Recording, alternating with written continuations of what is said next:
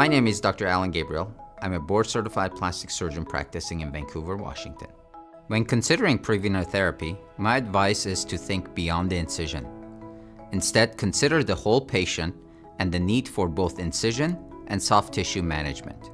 Here's an example where we helped a very high risk patient with Prevena therapy using the 3M Prevena Restore therapy system.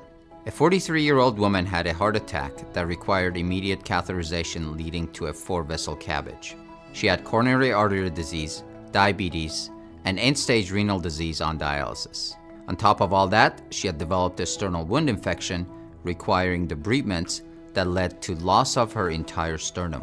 This area is not conducive for a skin graft, so this requires sternal reconstruction with a muscle flap.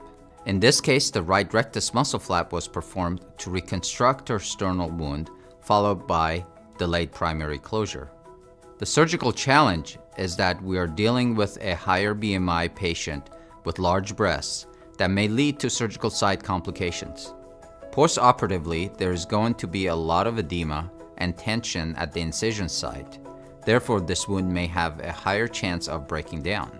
Traditional Prevena therapy dressings in this area would support the incision, but because of the additional tension on the incision and extended edema, I needed more soft tissue management in the area as well. So I used the extended coverage 3M Prevena Restore BellaForm dressing to manage the soft tissue surrounding this incision. Isn't it fitting that Prevena Restore BellaForm dressing has a heart shape to it. I like to comfort my cardiothoracic patients by saying they will wake up with a beautiful purple heart on their chest.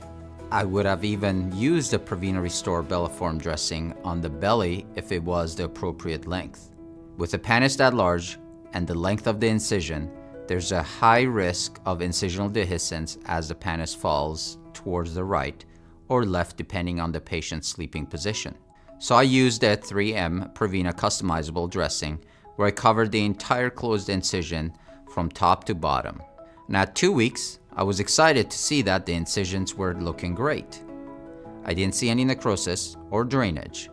So every week, she had her Prevena Restore BellaForm dressing and Prevena customizable dressing changed. This continued for three weeks for a total therapy time of four weeks I could see the soft tissue management with Prevena Restore BellaForm dressing was working well, so I continued this therapy for 30 days. After four weeks of Prevena Restore therapy, coupled with teamwork and great medical and nutritional management, the patient was able to transition to out of the hospital care. This shows that optimizing a high-risk patient like this, one may allow technologies like Prevena Restore therapy to work well. If a wound edge is questionable, why take chances? Think beyond the wound and look at the whole patient to optimize their care with Prevena therapy.